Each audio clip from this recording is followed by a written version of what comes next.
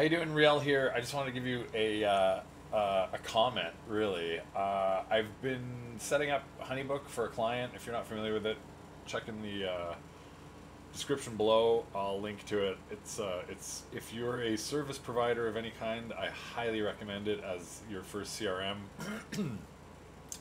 it's uh, dead simple and very cost effective and very complete. Anyway, the reason I was I wanted to make this video is because I downloaded their app, which uh, I hadn't done before. I've I've installed this for a couple of clients before, but um, but I just I anyway whatever. So so the app is really nice and simple. I gotta I gotta hand it to them.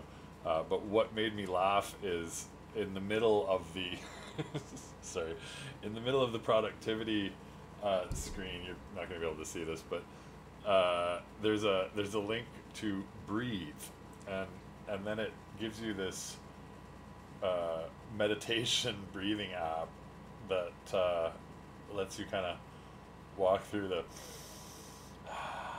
and I I know I mean this is good for anybody but it's funny to me because I know that their market for this is you know photographers wedding planners um,